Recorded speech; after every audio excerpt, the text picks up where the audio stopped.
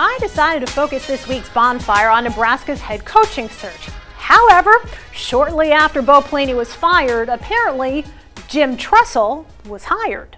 Can he just stay at Youngstown? Mom, it's not true. It's just Wikipedia. Oh, okay.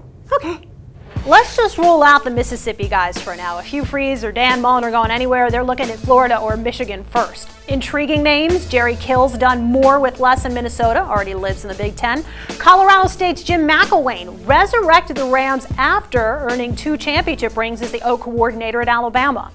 I've got mixed feelings about a couple of guys with strong playing and coaching links to Lincoln. One of Big Red's all-time quarterback rates, Turner Gill, coached Tommie Frazier and Eric Crouch into All-Americans, made Buffalo a MAC powerhouse, but floundered at Kansas and has seemingly found a good balance of football and faith on Liberty's Christian-based campus.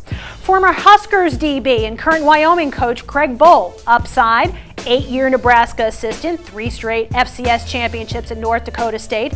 Downside, in our What Have You Done For Me Lately Society Bohl, just two Mountain West wins in year one with the Cowboys. And he's a defensive guy. Nebraska just canned a defensive guy, and the all too frequent pattern points to a hire from the other side of the field.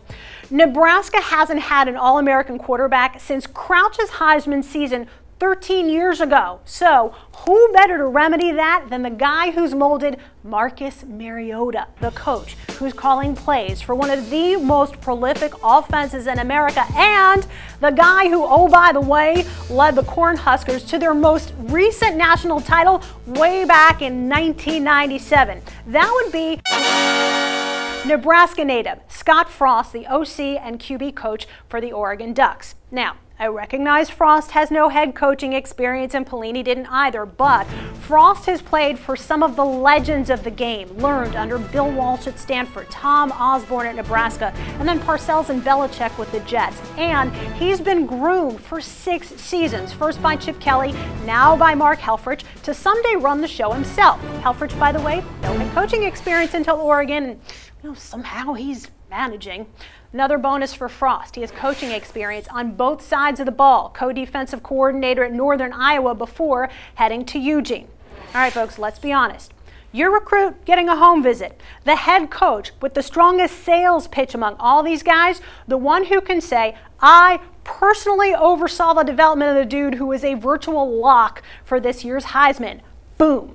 Consensus is Mariota is pro bound, so the timing's good for Frost to jump, and his price tag ain't getting any cheaper. So, Shawn Eichorst, athletic director in Lincoln, the recruit trail awaits for the guy who knows the highways and the back roads to Lincoln as well as anybody. Plus, how good does at Faux Frost sound as a parody Twitter account, right? Faux Pelini and that cat, they're currently on sabbatical.